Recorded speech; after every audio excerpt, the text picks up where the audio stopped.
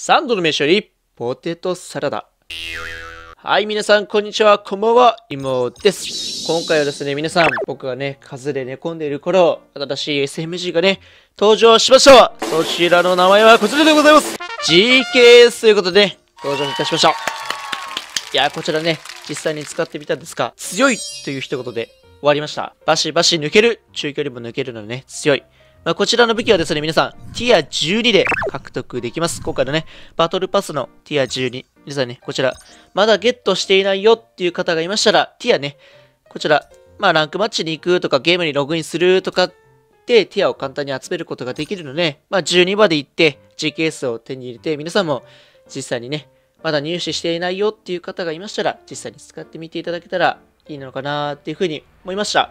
まずね、いつも通り解説していった後、ラングマッチ、また潜っていきたいと思いますので、よろしければご覧になってってください。面白ければ高評価、チャンネル登録もよろしくお願いいたします。それじゃあ、やっていきましょう。はい、まず強い点、使える点から発表していきたいと思います。反動が軽く、射程が長いということ。GKS はですね、反応が軽く安定感のある SMG だなーっていうふうに知的に思いました。SMG の中ではね、比較的射程が長く中距離でも戦いやすいという武器になっているんじゃないのかなっていうふうに何回かね、使ってみて思いました。反応がね、少ない分、敵と遭遇した際ね、エイムを合わせやすいので、初心者さんにもおすすめなのかなっていうふうに感じました。まあ、実際にね、こちら近距離でリコイル制御なし、コアグリップなしで撃った際やってみたいと思います。リコイル制御なしだとしても、上に多少ブレて、そこで集団しているという形ですね。こちらリコイル制御がありだとどうなるか、皆さんやってみたいと思います。左右のね、ブレはあるんですけど、やはり真ん中に集団している。ということは皆さん、まあ、いつも通りね、SMG の基本的なものなんですけど、上にブレるということは、どう狙っていれば、上に多少ブレたとしても、ヘッドラインに入るので、意識的に頭を狙うんじゃなくて、どの部分を狙ってエイムを合わせておくと、いい感じにエイムがばらけて、頭にね、ヘッドに入るんじゃないのかなっっていう風に感じました。あとですね、ADS、覗き込むスピード、クイックドローをつけることによって速くなるっていうことですね。こちらもね、SMG 全般におすすめなので、皆さんね、1対1で打ち合う際にね、少しでも勝率を上げたいという形にしたいのならば、クイックドローをおすすめでございます。そして弱い点、使えない点はですね、威力という連射速度が低い。まあこれはね、どうしても中距離で戦えるよ、近距離でも戦えるよっていう風にした武器ならば仕方ないのかなっていうふうに思います。GKS はですね、他の SMG と比べると威力と連射速度がね、少し劣っている。そうですね、近距離での打ち合いはやはり負けてしまうので、中距離でも安定するというこの武器なのでね、特徴なので、なるべく中距離、な本当に近距離を打ち合いたいのだったら、MSMC とかを使うところの方が絶対的に強いのかなっていうふうに思いました。まあ、この武器はね、やはり中距離、射程距離を活かして中距離でもきちんと狙っていく、いける。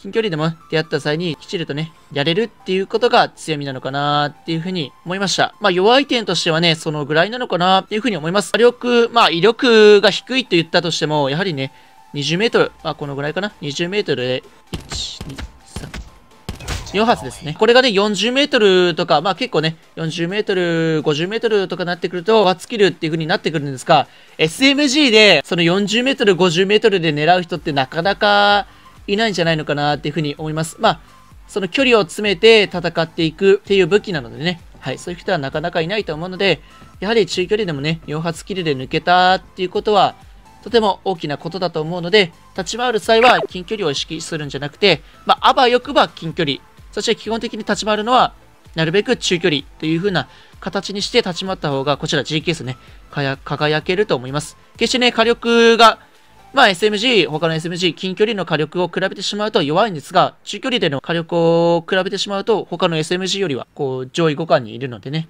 はい、結構ね、強いんじゃないのかなっていうふうに思いました。あとですね、皆さん、BO4 の武器、こちらね、皆さん、音を聞いててくださいね。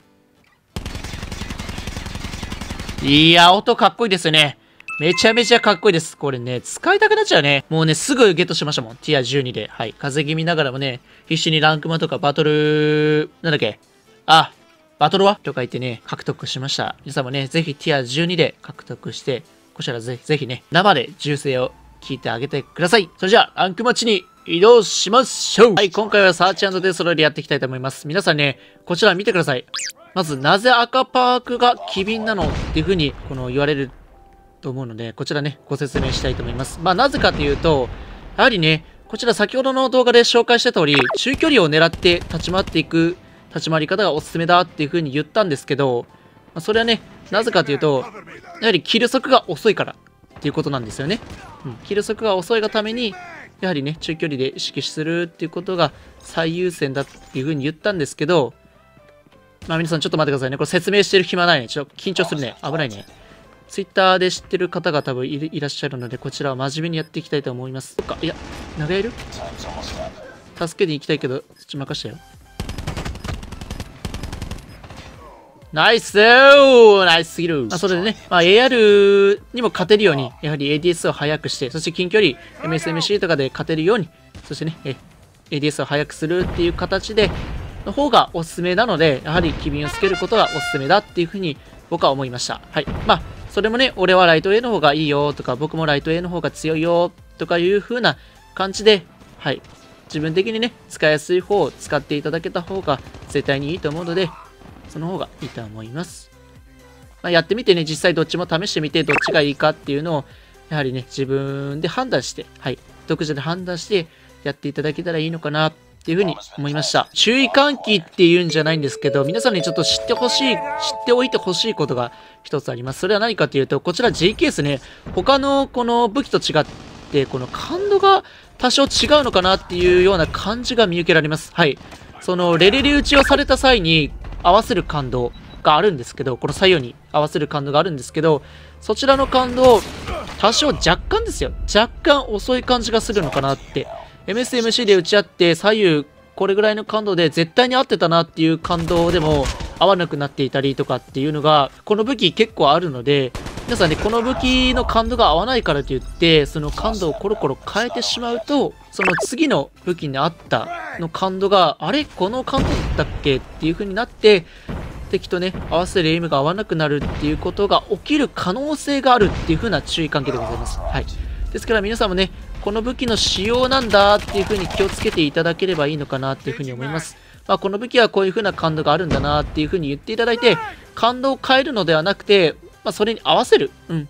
自分がこの武器はこの感度に合わせてあげることがとても大事になってくるんじゃないのかなっていうふうに思っております。だからね、正直言ってまあ、なんて言うんでしょう、仕方ないなっていうこと。まあ、あの運営さんですから、まあ、何しでかすかわかんないんですよ。はい。何しでかすかわからないので仕方がないなというような感じで見ていただけたらいいのかなっていうふうに思っております。やばい、痛いねまあ、そのぐらいかな、説明。まあ、先ほどね、ちょっと説明し忘れたっていうところがあったので、そちらの感じで、うん、やっていきたいと思います。それじゃあね、まあな、なんかちょっとやばいね。説明してる時にさ、もうやばくない？これ。見てる。裏来てる。うん、どうしよう。あ、いたね。多分見られたかな、今。見られた可能性ちょっとビレゾン。多分長屋一人いるんだよな。長屋一人いて。オッケー一人やった。多分ね、詰めてくる。これセンター来る可能性あるね。あ、来ないか。うん、じゃあ長屋入ろう。長屋いる可能性はいる。いないね、長屋ね。どうしようね。うーん。ちょっと出すか。いいよ、大丈夫、大丈夫。ここ一回伏せて、まあ、様子見よう。えー、嘘玉抜けしたかなちょっと皆さんにちょっとご覧ください。玉抜けか、最初のバグは分かったんですよ。あ、タッチバグだなっていう風に分かってて、ちょっと落ち着いたんですけど、その後ね、その後がなんか、えー、と思って。絶対、あれ、足かな？それか、玉抜けかな？わかんないけど、そこら辺あるね。なんか疑惑ね？わかんない。俺の読み方ただ合わなかっただけっていうのも絶対的にあるので、その可能性なくはないですよ。まあ、近距離でも、やはり MSMC、PDW、他の SMG がいなければね、あの距離できっちりさばきる。まあ、キル速っていうか、連射速度も遅いんですけど、はい、きっちりね、さばくことができるので、やはり火力分は申し分ないけど、やはりキルできるスピードが弱いっていうことでね、SMG、MSMC とかで当たって、まあ、いないさえね、いなかった場合は、ああいう風に、とつって、立ち回っていくことが強いのかなっていう風に思います。この試合ですね、味方さんがめちゃめちゃ強いですね。まあ、お相手さんもね、知ってる方ですから、うん、ありがとうございますということでね。やはりさっき見てもらったけどね、中距離、あの距離中距離って言っていいのかわかんないけど、速いね、時計がね。これで連射速度がもっと速ければな。え、え？ちょっと待って、見て見て。あ、あ、なにあ、敵だろえ、俺さ、またさ、あの、バグってる人かと思ったろ。みんな、わかる？あの、バグってる人いるよね、たまに。だからさ、その人だと思ったの、俺今。うん、謝らせて。やばいやばいあれだーえー危ないよ危ないえ、待って。危ないってな。やばいよ。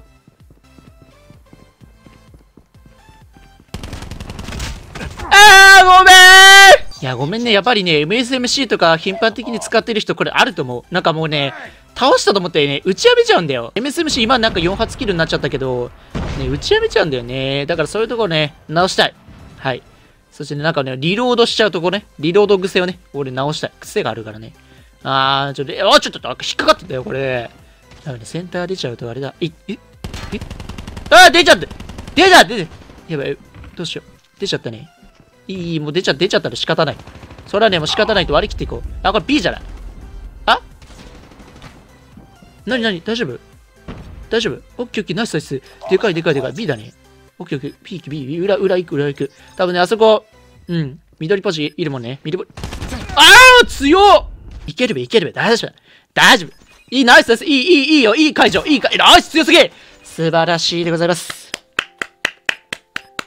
とね、皆さん分かっていただけたのかな？やっぱり、一つ目、うん、先ほどね、紹介し忘れた一つ目、やはり足が遅いので、機敏をつけて、中距離、近距離もね、やはり MSMC、AR っていう風に、打ち合った時、1対1で打ち合った時に少しでも早くね、DS をして、敵に一発目を打ち当てるっていうことを意識するっていうことが重要なのかなっていう風に思いました。そして二つ目はですね、先ほども言ったように、その感度。はい。この武器はね、ちょっと多少感度、左右にずれる感度が他の武器とは違う感じがするので、それはね、仕様だと思って感動をいちいちね、変えて、この武器だからこの感度にするとかってやってると、自分がぴったり合う感動なはずなのに、いや、違うな、違うなっていう風になってきちゃって、ぐちゃぐちゃになって M が合わないっていうことが多くなってくるっていう感じがあると思うので、で、この武器のね、仕様はこういう仕様なんだっていう風に割り切っていただけて、見てもらえればな、いいかなっていう風に思いました。そちらね、皆さん、またお会いしましょうまたな